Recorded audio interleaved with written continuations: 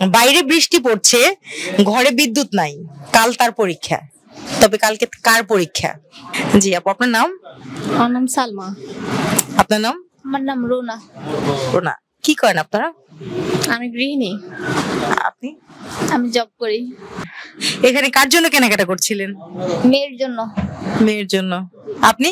আমি ওনার সাথে আসছি। ও, দুজন। আপনার কি দুজন ফ্রেন্ড জি।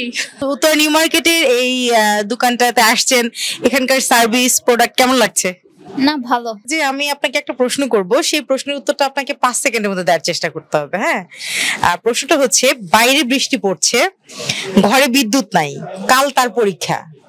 তবে কাল কার পরীক্ষা? বাইরে বৃষ্টি পড়ছে ঘরে বিদ্যুৎ নাই কাল তার পরীক্ষা। তবে কালকে কার পরীক্ষা?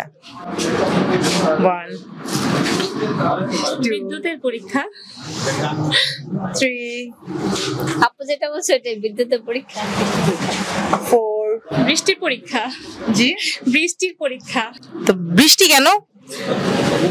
ঘরে হলো বিদ্যুৎ নাই আর বাহিরে হলো বৃষ্টি পড়ছে। মানে বৃষ্টি একজন মেয়ের নাম। সে বাহিরে পড়তেছে এজন্য বৃষ্টি।